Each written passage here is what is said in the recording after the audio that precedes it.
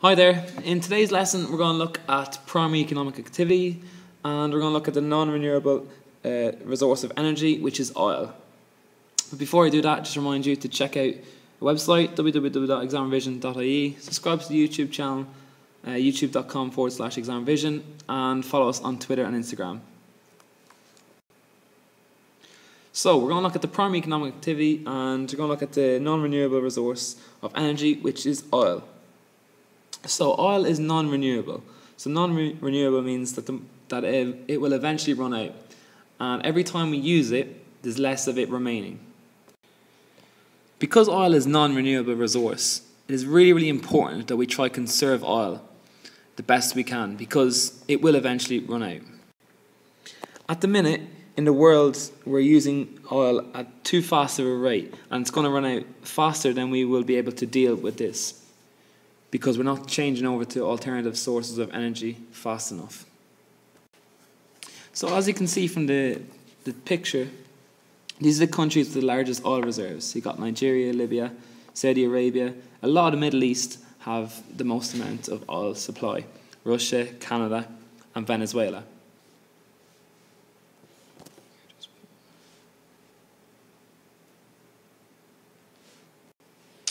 However, the, the most of, of, of the world's oil supply is found in the Persian Gulf in the Middle East. So, as you can see from this uh, diagram, it says the historical oil prices. And it starts off in 1973 and it goes all the way to January 2009. So, the price per barrel in 1973 was just over $5. As you can see, this has increased over time because oil is actually running out. Because it's a non-renewable resource of energy, it is running out. So the more it runs out, the, the more of demand there is for oil, so the higher the price is going to be. So as you can see, in around 2003, it's when we really started to run out of oil and the price jumped up dramatically. In 2006, it was just over $60 a barrel, with a huge jump in 2008 going to $142 per barrel. There was a big decrease in January 2009, this because we found more oil. But since 2009, it's been increasing ever so it's been increasing ever so slightly, and this will continue to increase as we start to as we run out of more and more oil. So one of the things we need to know is what are the advantages of using oil. Okay, so the first point, at least the first one, is that it's a much cleaner fuel to burn than coal or gas. So it's a cleaner fuel to burn than coal or gas. Second point is that it produces a high degree of energy. So it produces a lot of energy.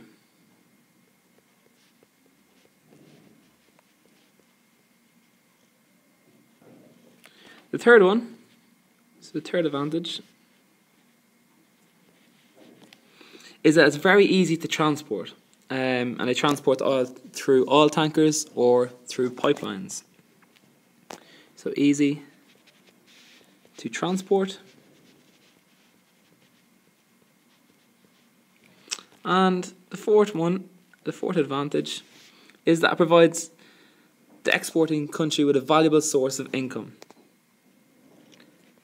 So, in the Middle East, particularly in uh, Saudi Arabia, provides them a huge amount of money and income. So you need to know a case study for um, for oil production, and the case study we're going to look at is Saudi Arabia. The production of oil has transformed the economy of Saudi Arabia. The country, once associated with deserts and nomadic tribes, is now one of the world's leading producers of oil. So, they produce the most amount of oil in the world, produced in the whole world.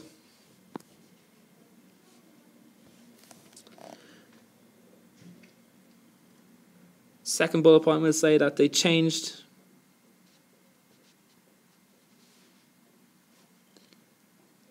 economy into one of the wealthiest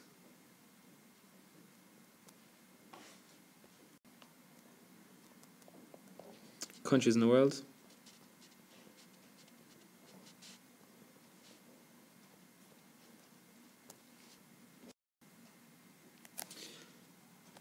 So, with all this oil production, mm, let me just change this.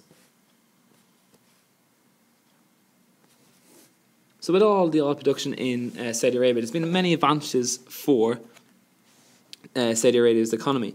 The first thing is um, it's transformed the economy into such a wealthy uh, country, one of the wealthiest countries in the world. So it's helped the economy to develop its, its health service. So health service in Saudi Arabia has increased dramatically because of all the money that they have from oil production. Uh, the second point is that their transport links have increased. So roads, rail, air, airports, ports have all increased because of the wealth and they can build better uh, infrastructure. Uh, and there's a much higher standard of living. Higher standard of living.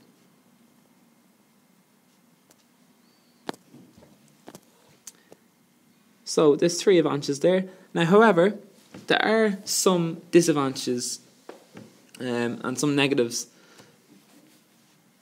as well to go along with this. And one of the negatives are,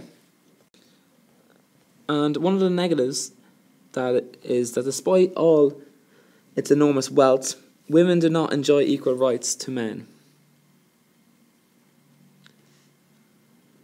So they're not equal to the men. So, as a result of poor nations such as Saudi Arabia transforming their economy from a poor country to one of the wealthiest countries in the world, it's no surprise that Ireland and many other countries have tried to search for oil off the coast of their countries and in their countries. If Ireland was to find uh, an oil deposit, it would transform the Irish economy. Um, however, we have not yet found any large deposits of oil uh, off the coast of Ireland.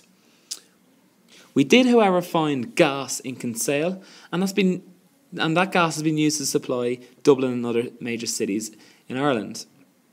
Gas was al- was also discovered in the off the coast of Ireland because of all the exploration in the Corrib gas field. However, there's been lots of controversy regarding uh, the Corrib gas fields, whether the, the gas should be brought ashore or not. Um, you might ask, why do, are they doing so much exploration for oil? Well, there are many advantages of finding oil for Irish economy, and the first one would be employment. So, if Ireland had to find a, a large deposit of oil, employment would increase because workers would be needed to work on the rigs and the service industry. Tax revenue would also increase. The second reason would be to reduce the dependency on foreign imports of oil. So reduce dependency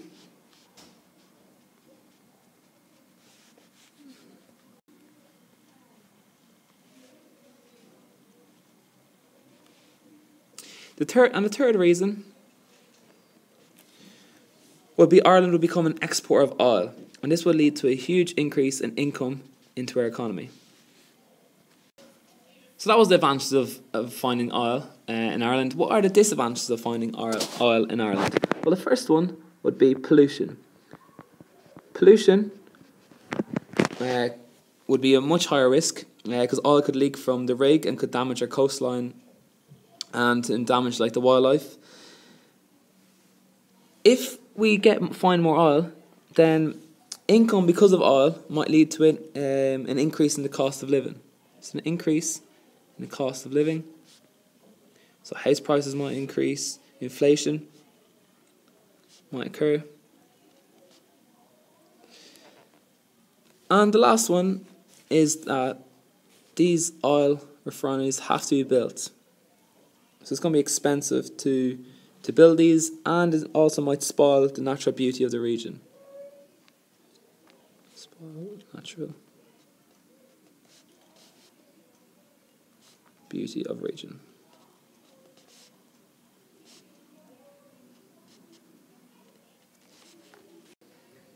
Okay, so that's the end of my tutorial on primary economic activities and looking at oil.